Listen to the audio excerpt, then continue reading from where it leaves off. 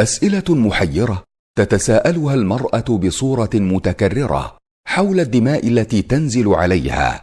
تترك الصلاة لأجلها أم تغتسل وتصلي؟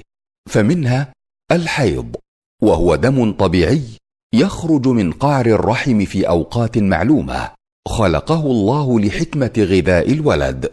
فمتى رأت المرأة الدم جاريا من رحمها فهو حيض. دون تقييد بدايته ولا نهايته بسن معين ولا حد لأقله ولا لأكثره بل ما رأته المرأة عادة مستمرة فهو حيض.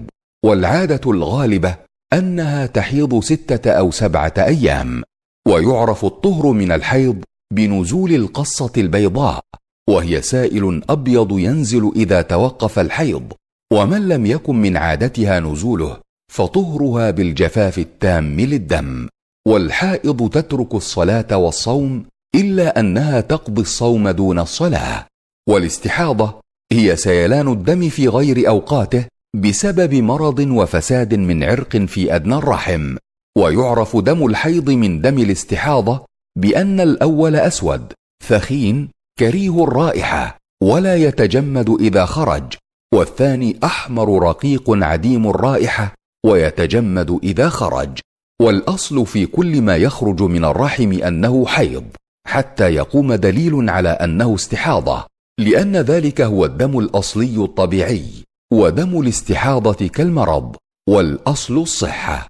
والمستحاضة تصلي وتصوم وتتوضأ لكل صلاة إذا دخل وقتها ولها أن تجمع بين الظهر والعصر في وقت إحداهما وكذا بين المغرب والعشاء تخفيفا عليها ولكنها تترك الصوم والصلاة أيام عادتها في الحيض.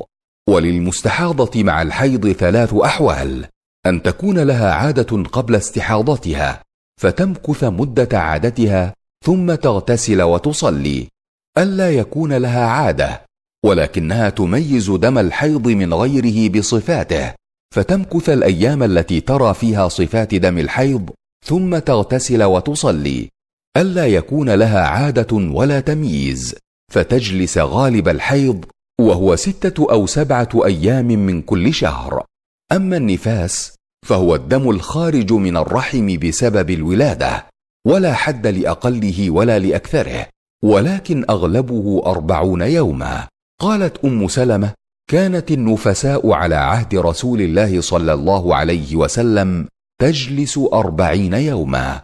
فعلى المرأة أن تحرص على تعلم هذه الأحكام وتتحرى في صلاتها وعباداتها لتفوز برضا ربها وثوابه في جنات النعيم.